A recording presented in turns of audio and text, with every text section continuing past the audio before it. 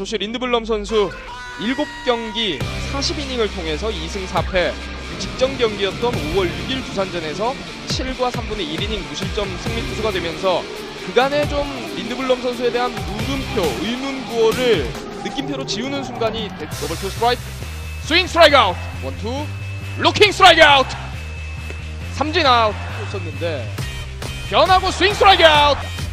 삼진 아웃 다섯 타자 연속으로 삼진 잡아냈고 2회에는 3명의 타자 모두 삼진으로 처리했습니다. 삼진 아웃. 1구 헛스윙. 몸쪽. 스윙 스트라이크 아웃. 백투백 홈런 때렸던 김민성 투볼 원 스트라이크. 스윙 스트라이크. 헛스윙 삼진 아웃. 헛스윙 삼진 아웃. 채태인. 루킹 스트라이크 아웃 이번에는 꼼짝없이 당하는 채태인입니다.